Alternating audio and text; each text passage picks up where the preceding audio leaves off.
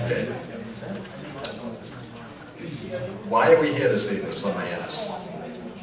The accounts that will be related to you this evening paint a picture of a state Republican hierarchy's behavior that mirrors, mirrors Lord Acton's admonition that power corrupts and absolute power corrupts absolutely.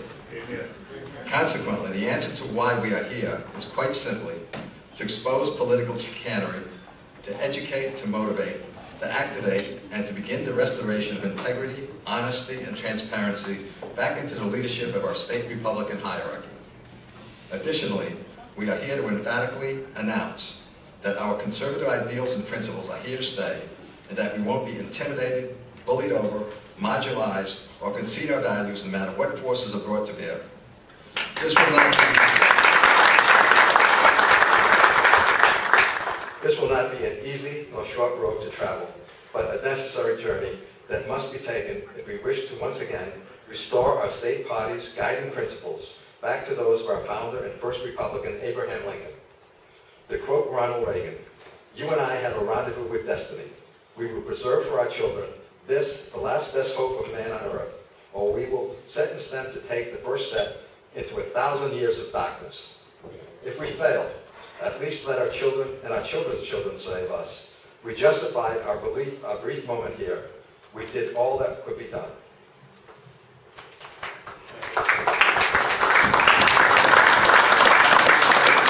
Our first speaker this evening is going to be Dave Kopacz, who is president of Marrow.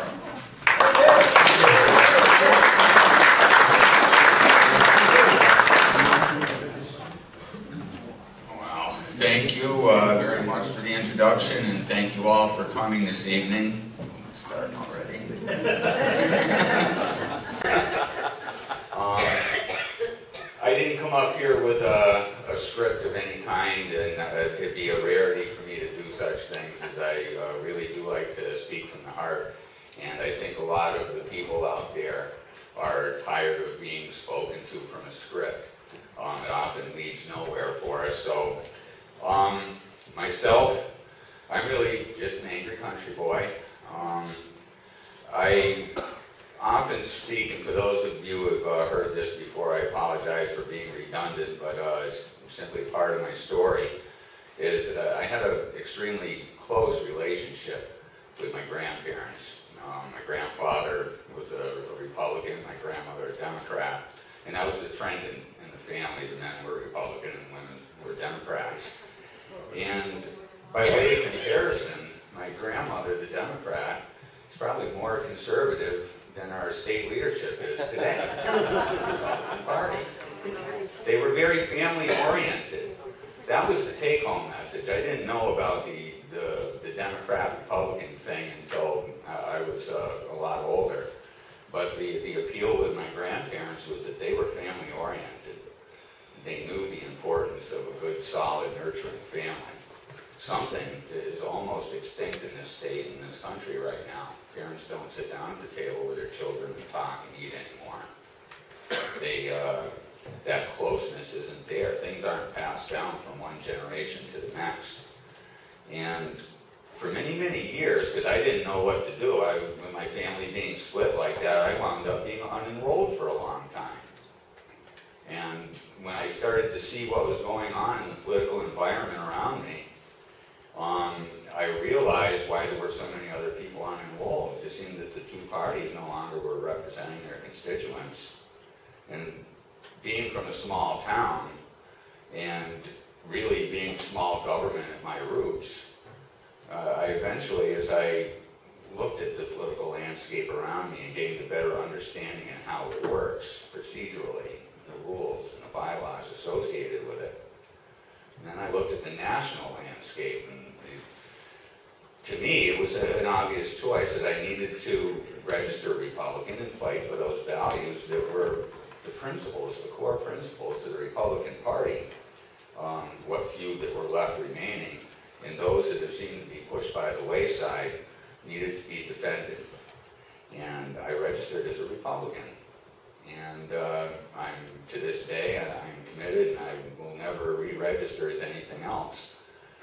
And I, I got even more involved. I started, uh, you know, hanging around Canada's campaign, seeing how that part of it works.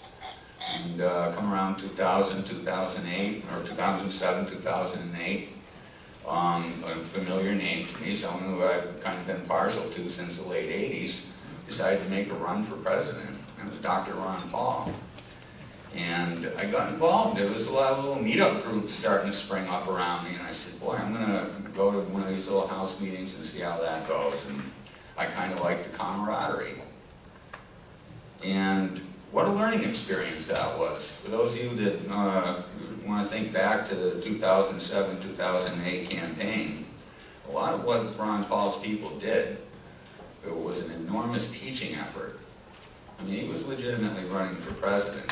But he wanted his followers not just to be followers, he wanted his followers to be leaders. He wanted to understand the political environment around them. So I learned what it was to be a delegate, how to become a delegate.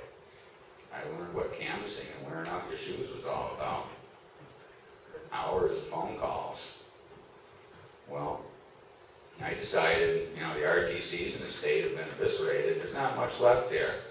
You see, they, they don't want an RTC in every town. That's too many RTCs to be controlled from the top down, you see. You have too many free thinkers out there.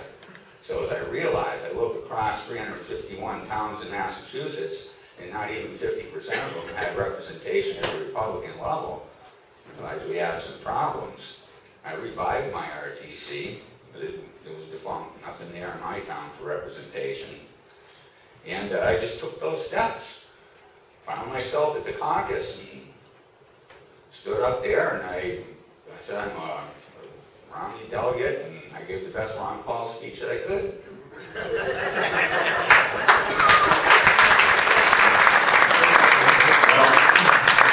I wound up getting the second highest number of votes. I was beating state representatives and state committee people and senators and all these people were falling by the wayside. And all of this grassroots energy in that room.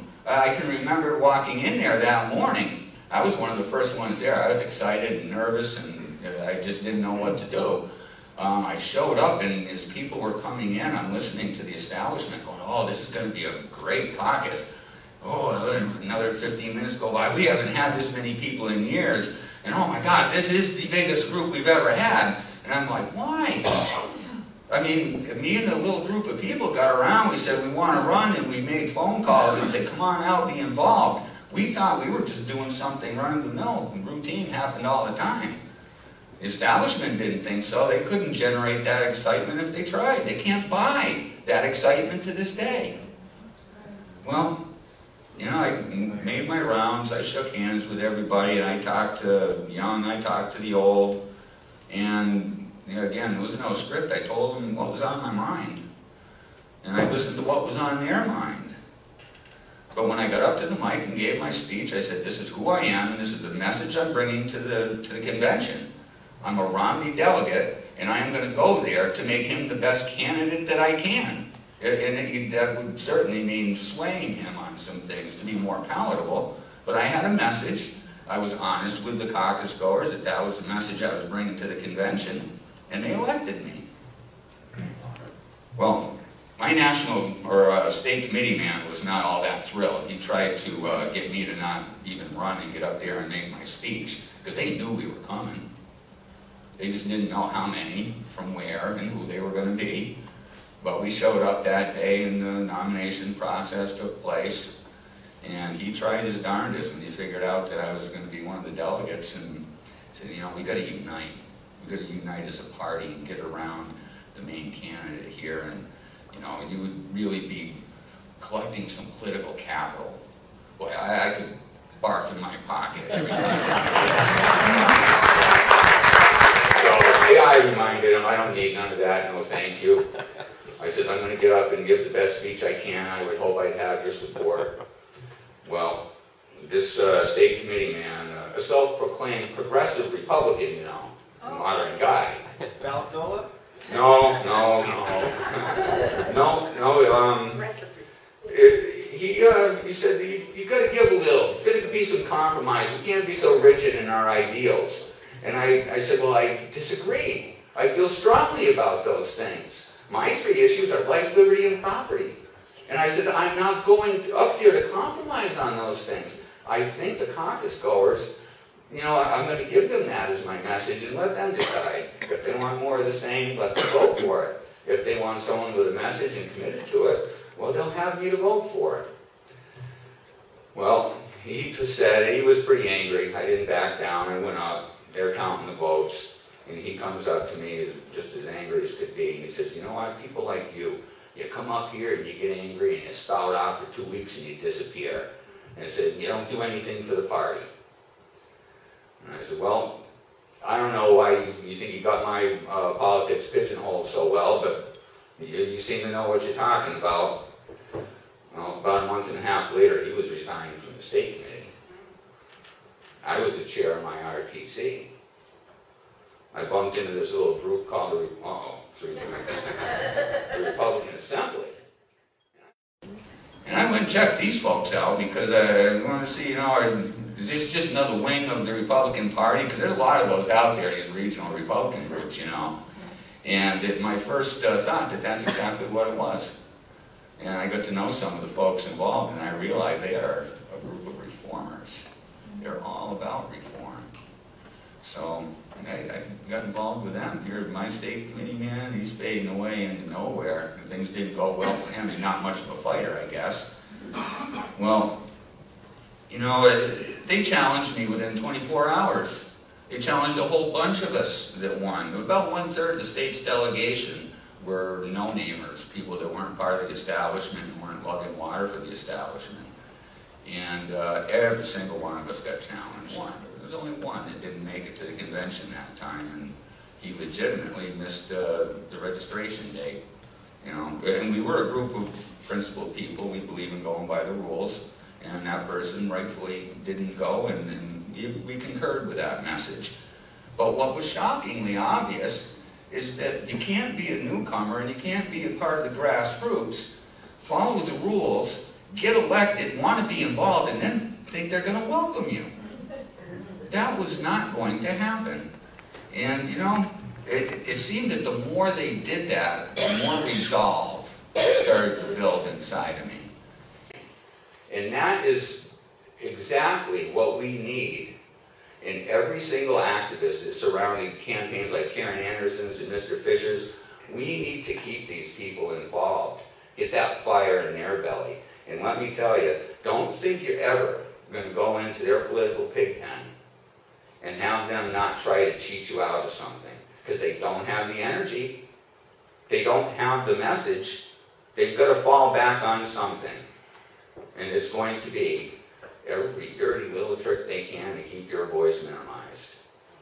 And for them, you should take that. When, when they cheat you out of something, you wear that as, as a badge of honor. You've made them go to an extreme that no party official should. You've exposed them. Only relentless pressure is going to do that. At any one of these battles, you're going to hear an awful lot this evening from different people who have uh, had it tucked to them in a number of different ways.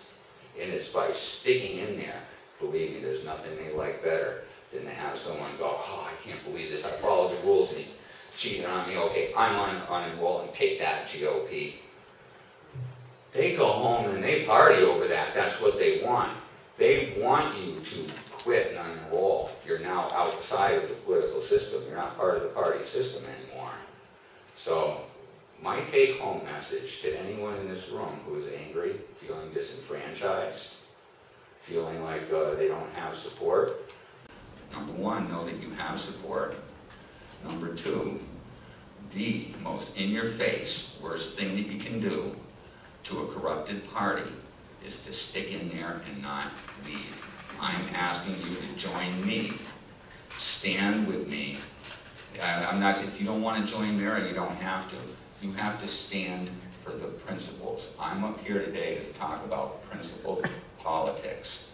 There's going to be reform of the state GOP. I'm hoping every person in this room is going to join me in that effort. Reform is coming, and before 2016, this is my promise, before 2016, we're going to be in a position to take that state committee. We are six.